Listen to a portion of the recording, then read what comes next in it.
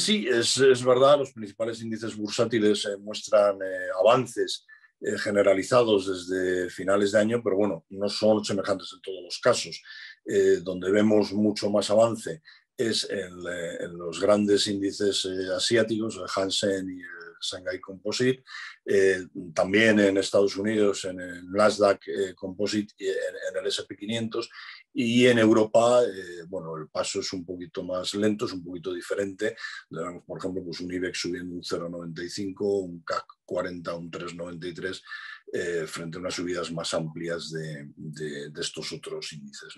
Entonces, eh, bueno, esto eh, al final los índices bursátiles reflejan algo que ya sabemos, la recuperación no está siendo igual en todas las zonas económicas del mundo y no lo va a seguir siendo, va a haber diferencia. Los principales organismos mundiales ya lo han dicho, han dicho que efectivamente, bueno, pues para el 2021 se esperan crecimientos en torno al 5, 5,5%, pero aunque no hay riesgo riesgos de retrocesos o de crecimientos negativos, eh, sí que resaltan que la recuperación eh, va a ser muy desigual. Parece estar muy claro que las economías asiáticas son las que van a liderar el crecimiento global, con India y con China a la cabeza.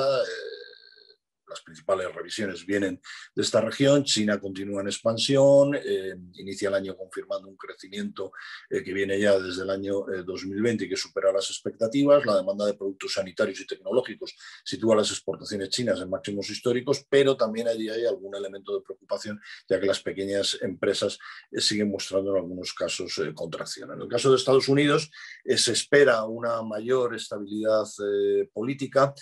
parece que los paquetes de estímulos fiscales que quiere poner en marcha la administración Biden eh, van a dar mucho impulso. Eh, los hogares americanos se han ahorrado mucho, eh, más de, cuatro veces la media de los últimos 50 años, y todo esto hace prever un fuerte aumento del consumo en el periodo post-pandemia. Pero ojo, porque allí en Estados Unidos también puede haber problemas, se esperan más impuestos, se esperan más dificultades para el negocio de las grandes tecnológicas. Y donde realmente pues, las cosas no marchan igual, por desgracia, es es eh, en Europa. Eh, el Fondo Monetario Internacional eh, rebajó respecto de sus anteriores previsiones de octubre un punto en el crecimiento del PIB de la eurozona, incorporando el efecto del retraso en el proceso de, de vacunación contra el COVID.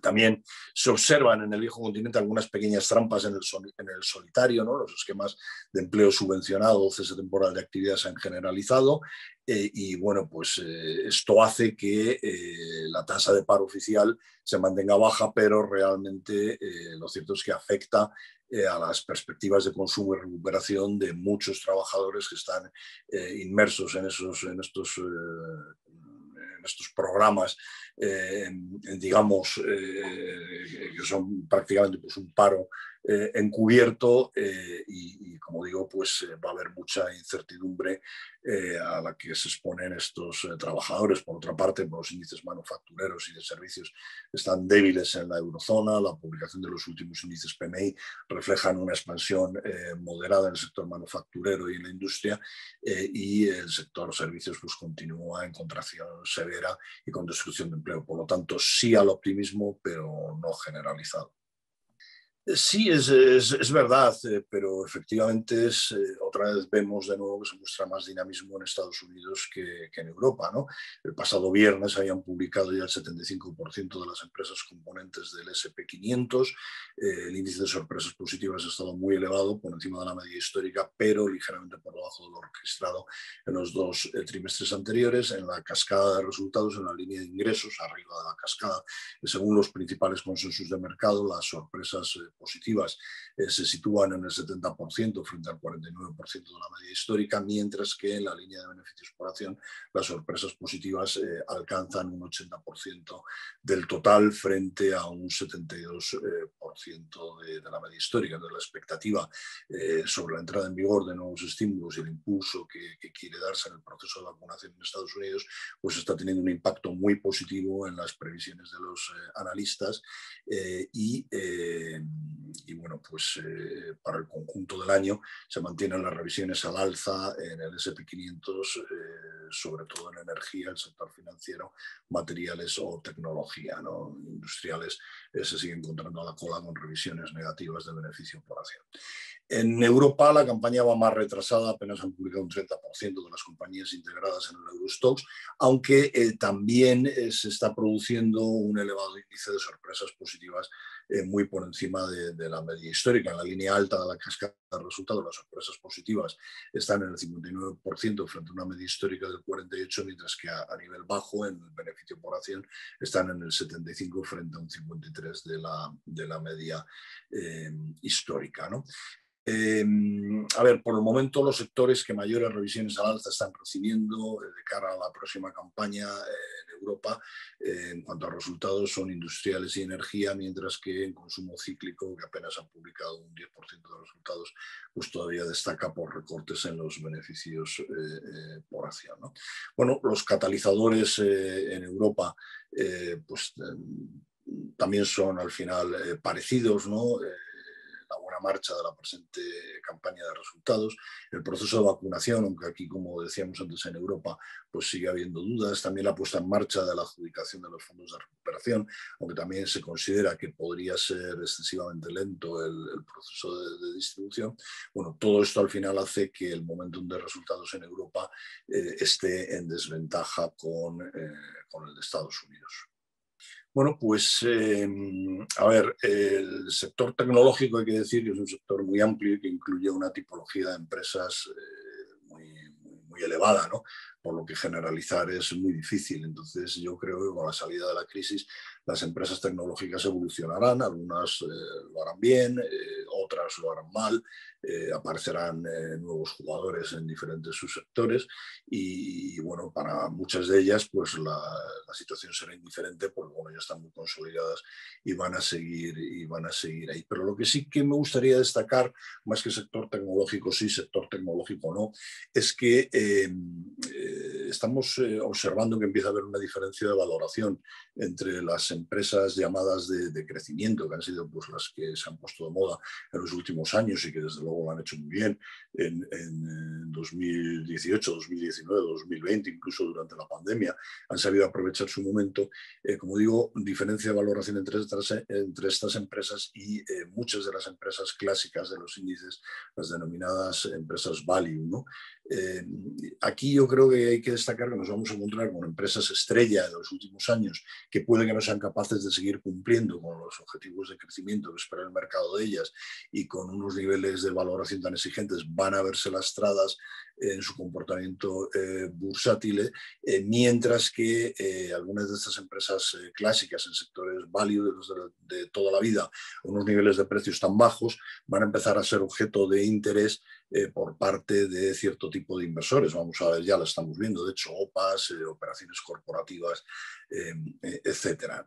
Entonces, mm, bueno, probablemente durante 2021 muchos inversores van a seguir apuntándose al carro de las empresas que han sido ganadoras en 2019-2020, sobre todo lo vamos a seguir viendo en el caso de inversores minoristas que sin mucha información de fondos siguen buscando oportunidades de crecimiento en empresas tecnológicas, en empresas del Nasdaq, y entonces pues aquí da ese aviso, ¿no? porque es posible que algunas de estas empresas eh, em, que muestran grandes sobrevaloraciones eh, y si, como decíamos antes, no empiezan a, cumplir pronósticos, pues podamos ver, eh, podamos ver caídas, mientras que en estas otras empresas value, pues puede haber alguna, puede haber alguna, alguna eh, oportunidad. ¿no?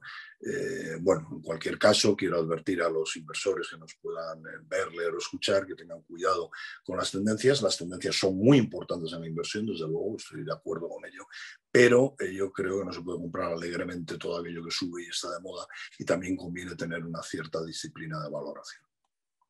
Bueno, pues la verdad es que los grandes valores de la bolsa española, fácil lo que se dice fácil, no lo tienen. Hace unos días mi compañero Raúl Álvaro os comentaba aquí mismo las dificultades que van a encontrar los grandes valores del IBEX para captar la atención de los inversores después de la entrada en vigor de la, de la tasa Tobin. ¿no? Eh, a ver cómo un inversor entiende que eh, cuando un broker eh, como nosotros, como ClickTrade, está cobrando una comisión del 0,08% del efectivo de una operación, el Estado se va a llevar un 0,2 que es dos veces y media más. ¿no? Ayudar desde luego esto no, no, no ayuda, no ayuda mucho. Pero bueno, podemos hacer reflexiones, sí. antes eh, hablábamos de inflación, eh, de una inflación que quizás en un máximo de un par de años pues pueda llegar. Los tipos van a tener que subir y si los tipos de interés suben, nos vamos a encontrar con un sector que se va a ver beneficiado, es el sector bancario. Ya sabemos que, que, los bancos tienen un peso muy importante en nuestro índice, a pesar de la gran pérdida de capitalización que han tenido en los últimos años, eh, en las que sus cotizaciones han descontado todo lo negativo que, que, pasaba y lo que, y lo que seguramente lo que no, lo que no pasaba. ¿no? ¿Esto quiere decir que recomendemos bancos? No, pero sí que mm, se puede decir que aquellos inversores que no les importe en pensar en hacer una cartera a largo plazo diversificada, eh, pues les recomendaríamos que empiecen a hacer números y que vean eh, las valoraciones de un sector que está claramente infravalorado y en ese entorno de subida de tipos pues, se podría haber beneficiado. ¿no? Para inversores que quieran fijarse más en un corto plazo, pues, eh, por ejemplo, hay que destacar que en 2021 va a tener mucha importancia todo lo relacionado con energías sostenibles y medio ambiente.